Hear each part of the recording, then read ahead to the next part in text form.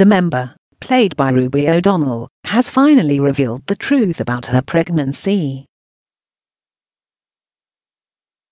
In shocking scenes, Peri confessed to her sister Tegan Lomax, Jessica Ellis, that she had made the whole thing up to keep Prince McQueen interested. Who saw that coming? Question mark. The schoolgirl, who is already mum to baby Steph, confessed. Things are going so wrong, it's my own stupid fault. Lying I'm pregnant and lying I've got a scan. If he ever found out the truth then, it's pretty messed up, but I have to keep up the lie to keep him happy, and keep him with me.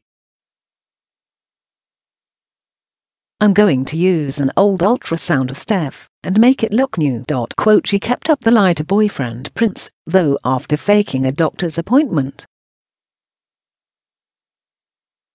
She told him, the scan went really well, the baby is perfect. Quote, and she also produced a convincing looking scan to make her lie look authentic.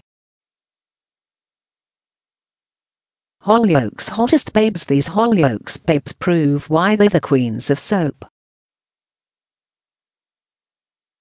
1 slash 30 naturally viewers had a lot to say about the baby drama on Twitter and they certainly didn't hold back, own person slammed.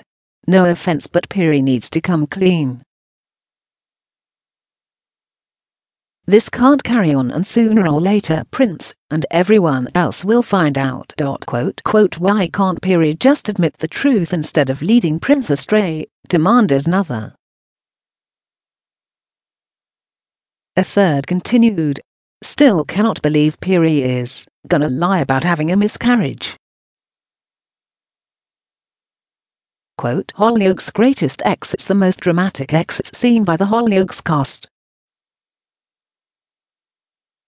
1 slash 15 elsewhere in tonight's episode, Ryan Knight had locked up Kim Butterfield in the school and held her hostage. In previous scenes, Kim had found out that Ryan is gay and killed Amy Barnes, before also putting Tegan Lomax in the hospital. He yelled. I hated Amy, because she knew what I was up to. This rage came out of me, and I just wanted to shut her up for good. Ryan Lady confessed to Kim his plans, to put her in a body bag. I brought you here to kill you, but I'm not a murderer. Catch First Look Hollyoaks weekdays from 7 p.m. on dot related articles.